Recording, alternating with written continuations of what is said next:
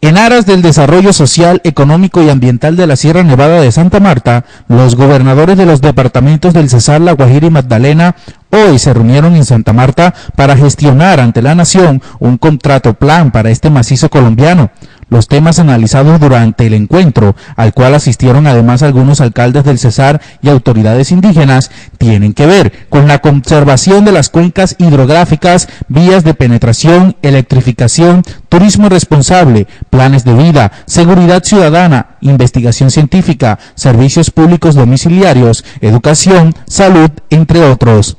Para los mandatarios es preciso articular estos instrumentos de gestión, teniendo en cuenta que existe un territorio común por lo que se hace necesario convocar a todos los actores que hacen frente a este tema y trabajar de manera articulada.